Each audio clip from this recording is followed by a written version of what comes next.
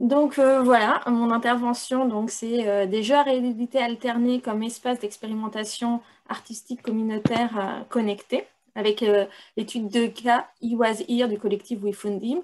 Donc en dessous, vous avez à peu près tout ce que je vous ai dit tout à l'heure.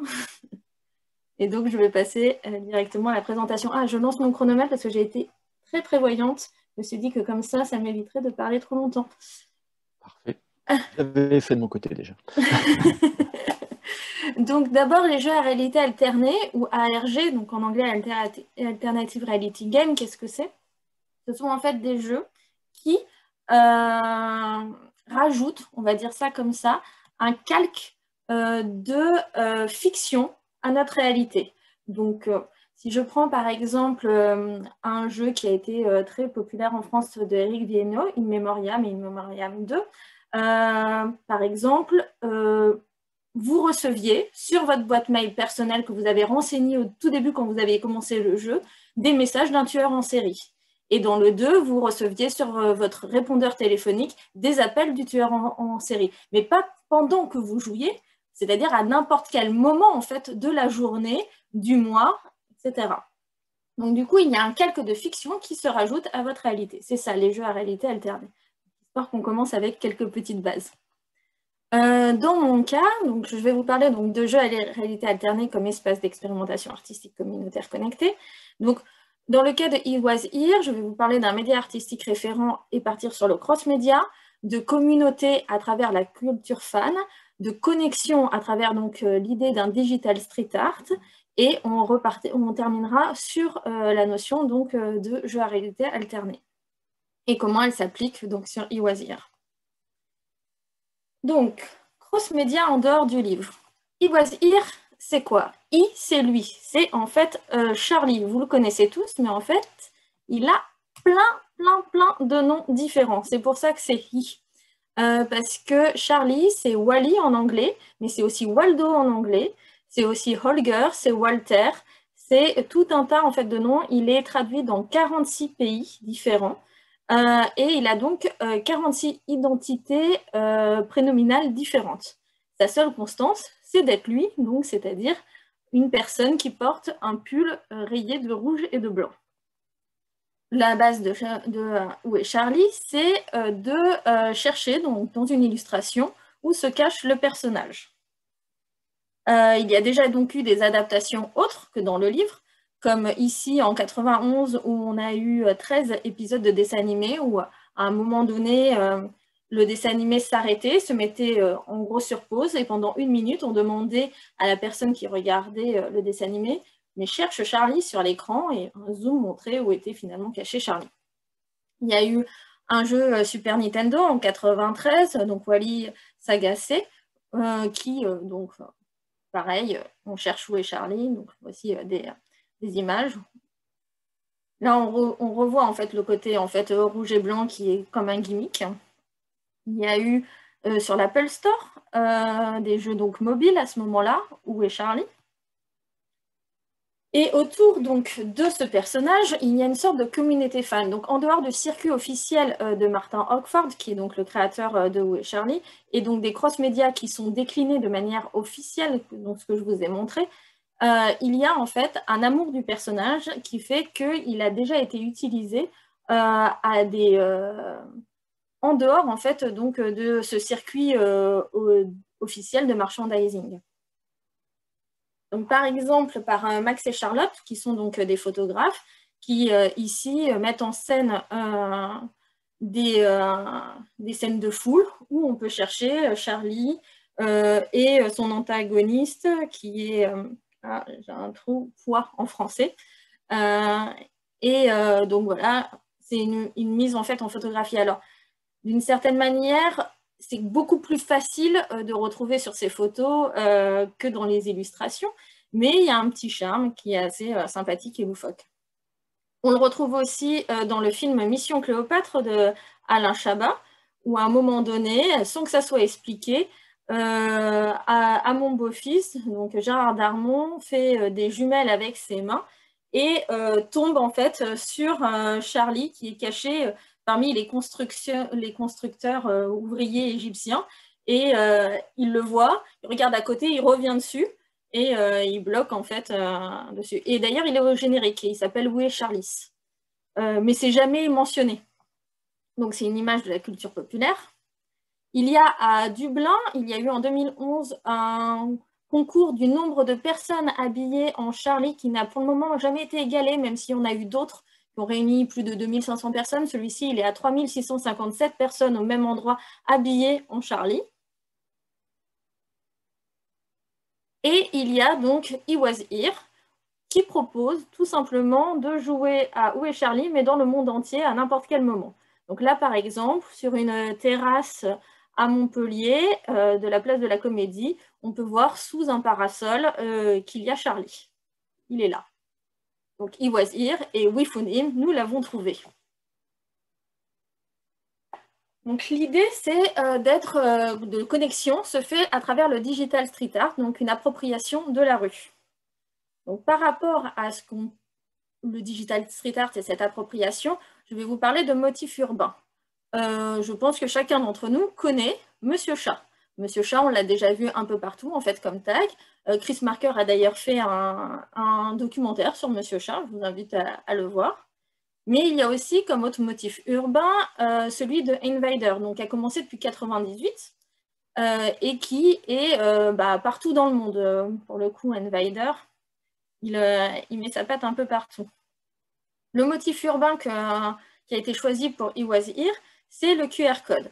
Euh, alors, bien évidemment, d'un point de vue technique, on pourrait se passer complètement d'un QR code et une image pourrait renfermer une information, mais pour euh, la majorité des gens, un QR code, contrairement à une image, renferme forcément une information euh, numérique derrière. Donc du coup, on sait très bien qu'un QR code, on peut le scanner.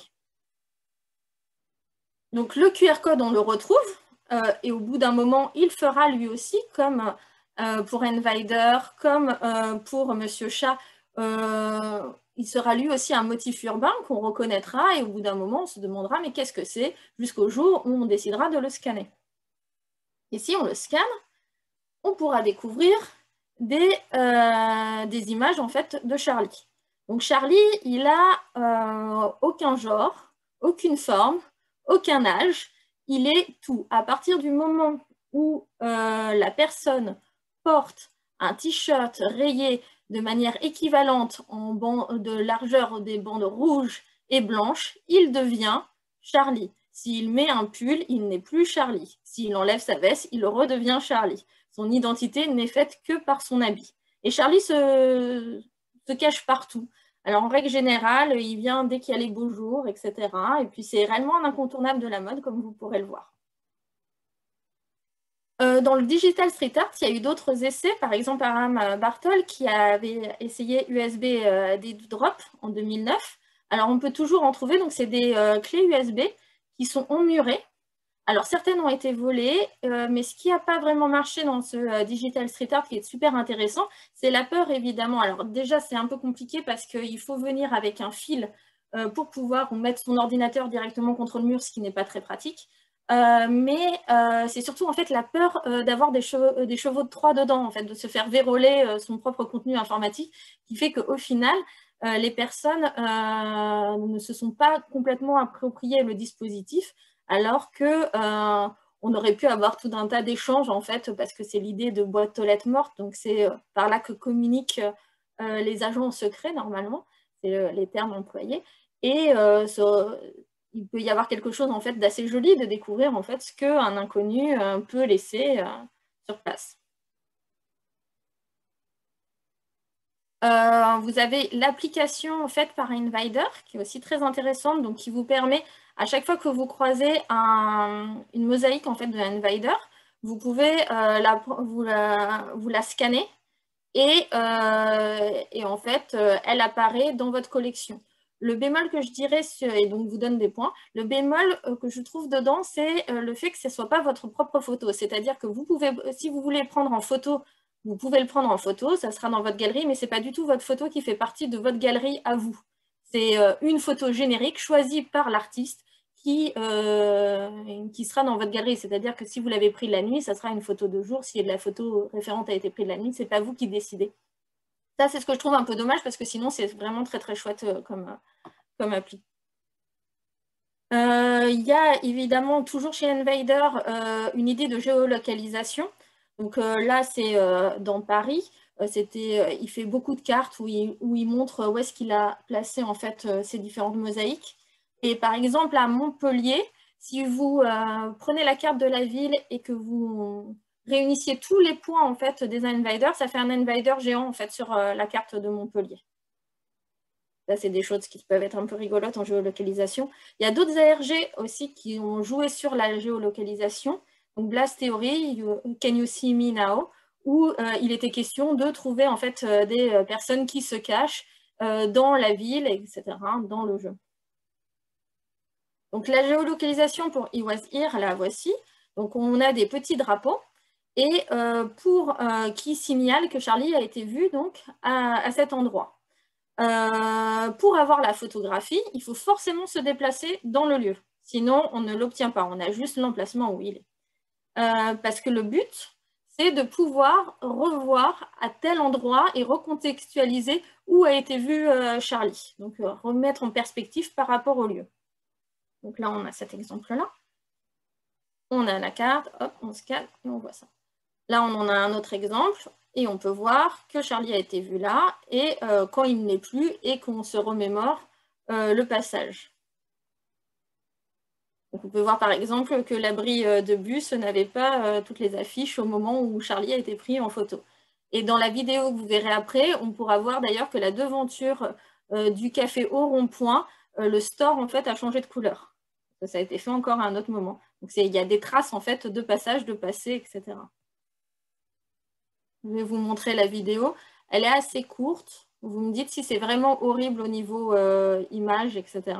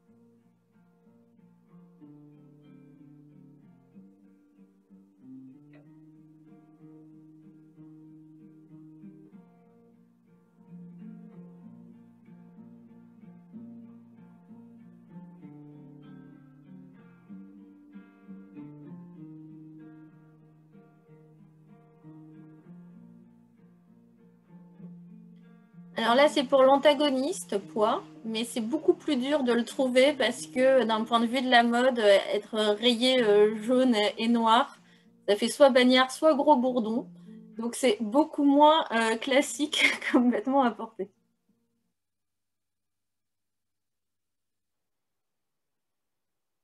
Donc on retrouve cette idée en fait de collection. Donc on va avoir comme euh, l'album Panini cette joie de euh, pouvoir collectionner ces images et d'avoir de belles pages bien complètes, etc.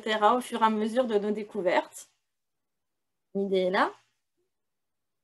Et je vous ai, là, je vous ai parlé juste du côté, on va dire, digital street art, mais pas du côté qu'est-ce qui altère en fait votre réalité quand euh, vous jouez à It Was Here.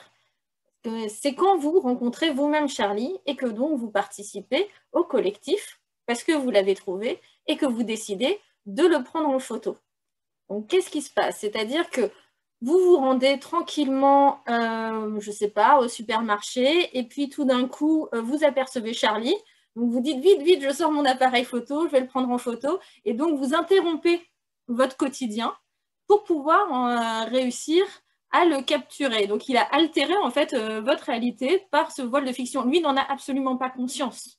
Il fait juste que faire sa vie, etc. Il ne sait absolument pas qu'il est votre cible. Mais pour vous, vous en fait, il faut savoir que au bout d'un moment, votre cerveau est capable de détecter quelqu'un qui est habillé en fait en Charlie, c'est-à-dire quelqu'un qui ressemble ou quelqu'un qui est habillé. C'est-à-dire que moi, je sais très bien quand je rentre dans une pièce si quelqu'un est habillé ou pas en fait en Charlie.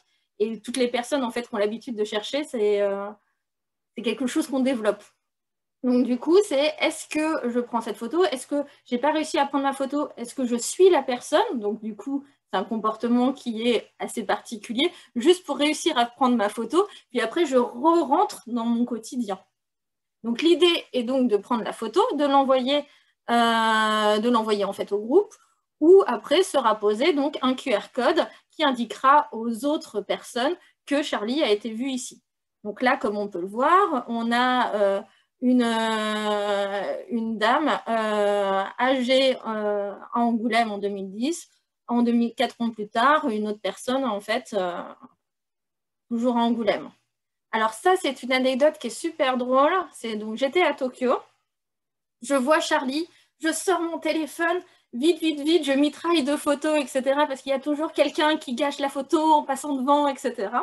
Et après, comme à l'époque 2014, ma carte n'était pas très extensible sur mon téléphone, je, décide de faire le ménage pour enlever en fait euh, les photos loupées, en fait, où j'ai pas réussi à, euh, photographier donc euh, Charlie. Et là, à ma grande stupeur, en fait, j'en ai photographié un que je n'ai jamais vu.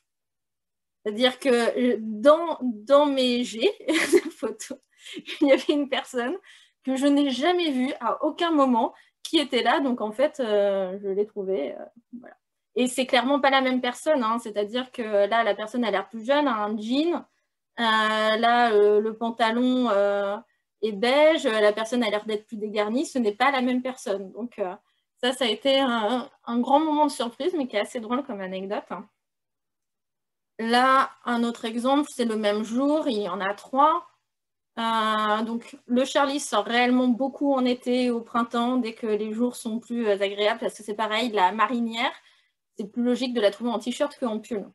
Euh, et presque pour conclure, ce, texte de Henry Jenkins, donc pour de nombreux fans, la nature non commerciale de la fan culture est une de ses caractéristiques les plus importantes. Il s'agit ici d'amour, les fans opèrent dans une économie du don et reçoivent gratuitement d'autres fans qui partagent leur passion pour les mêmes personnages. Libérés des contraintes commerciales qui entourent les textes sources, ils jouissent d'une liberté nouvelle pour explorer les thèmes, pour faire des expériences avec des structures et des styles qui ne font bien souvent pas partie des versions grand public de ces univers. Et donc là, c'est juste pour vous, c'était hier au bois de Vincennes. Euh, j'étais tranquillement installée dans l'herbe et euh, je vous ai photographié Charlie pour vous dire qu'il est donc euh, toujours de sortie où qu'on soit, partout dans le monde. voilà, je vous remercie. Merci pour cette présentation, Sophie. J'avais juste une dernière question. Là, je me permets une question, puis, puis, puis voilà, c'est aussi le moment pour, pour les uns et les autres de, de, de poser toutes les questions que vous pouvez avoir ici quand on voit Charlie, on prend une photo, on l'envoie au collectif, mais c'est pas nous. C'est pas nous en tant que, participants qui apposons le, QR code à tel ou tel endroit. On peut, c'est-à-dire qu'à partir du moment, euh, par exemple, comme c'est étendu partout dans le monde, si, euh, quelqu'un prend, je ne sais pas, Charlie à Rome, il est euh, plus simple en fait de envoyer à cette personne le QR code pour qu'elle la pose elle-même plutôt que des personnes se déplacent spécialement à Rome pour. Donc ça, c'est plutôt un aspect communautaire de voir, euh, mais ça, c'est en phase, euh, c'est pas encore euh, très au point. Donc c'est plutôt à voir qui serait disponible pour pouvoir en fait apposer le QR code, sachant qu'il n'y a pas non plus une course à, à avoir en fait la disponibilité de la nouvelle image dans l'heure. C'est voir qui pourrait en fait le faire. C'est donc l'aspect en fait, c'est là où apparaît le côté, on, va dire, forcément très structuré, très rigoureux, donc euh, du côté euh, fan culture, c'est-à-dire qui peut le faire, à quel moment, est-ce que euh, c'est bon, est-ce que toi tu peux imprimer le QR code ou est-ce que je te l'envoie, comment on procède, voilà. Très bien, merci. Effectivement, une autre question, c'était est-ce que, est-ce que la, communauté est structurée? Est-ce que, est-ce qu'en fonction des pays, il y a des niveaux de, communauté? Mais on aura peut-être le temps de, revenir sur ces questions de structure, de structuration de communauté euh, euh, dans, dans un second temps.